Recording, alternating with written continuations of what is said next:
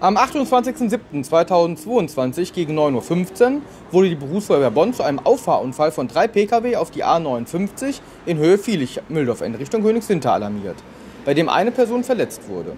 Zwei Fahrzeuge mussten abgeschleppt werden. Die Fahrtrichtung musste vorübergehend gesperrt werden. Während der Bergungsarbeiten wurde der Verkehr an der Unfallstelle vorbeigeführt. Im Einsatz waren das Tankdurchfahrzeug 2, der Rettungswagen 21 und ein Funkstreifenkraftwagen der Autobahnpolizei Köln.